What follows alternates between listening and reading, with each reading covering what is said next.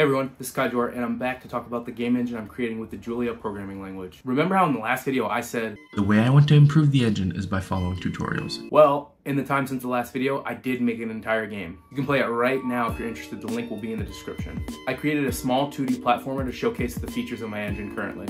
In this video, I'll talk about how and why I used a tutorial to create this game and how I improved my engine in the process. Now that that's out of the way, let's get into it. In the last video, I said I was going to be following tutorials to help me make my game engine much faster. Let's say there's a bug that's reported in a project that you're working on. A customer reports something that isn't working as expected. It's a simple fix, so you just go ahead and update the logic for the way the app is functioning in that area. So great, you fixed it. The end, right?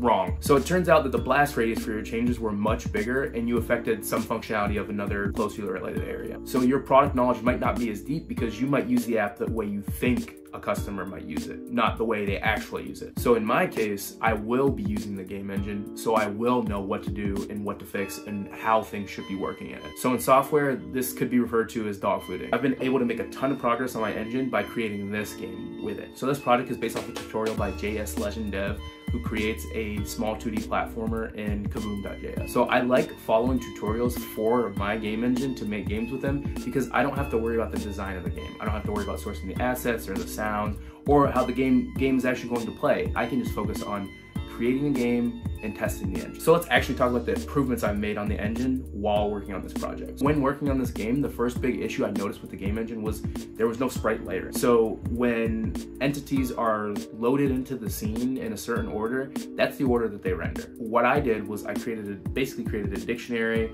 with keys that were the sprite layers. And then for each sprite, we can assign a layer and then it'll get thrown in that. So the next thing I went through was I went through the editor and fixed a ton of bugs. Like I left it in a state where basically you couldn't use the editor and I had just been focusing on focusing on the engine, making changes to the engine.